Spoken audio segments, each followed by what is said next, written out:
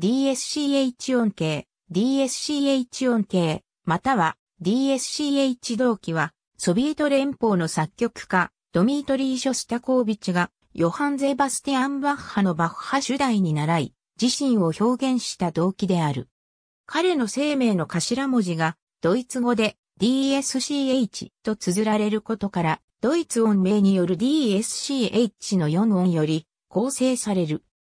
そのままの形での最も早い使用例は、バイオリン競争曲第1番、第2楽章と考えられているが、戦前の作品、例えば歌劇、ムツェンスク軍のマクベス夫人などでも DSC とか DCH のように断片的に用いられることはあった。この動機は、ショスタコービチ自身によって自らの音楽的イニシャルとして何度も繰り返し用いられた。バイオリン競争曲第1番、交響曲第10番、弦楽四重奏曲第8番、チェロ競争曲第1番、ピアノソナタ第2番ほか、多数の作品中で出現する。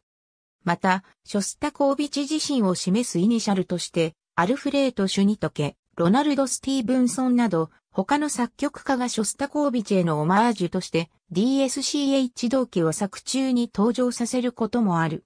ノボデビチ墓地にあるショスタコービチの墓碑にも DSCH 音形の楽譜が彫られている。ショスタコービチの研究誌 DSCH ジャーナルはこの動機にちなんで名付けられた。ありがとうございます。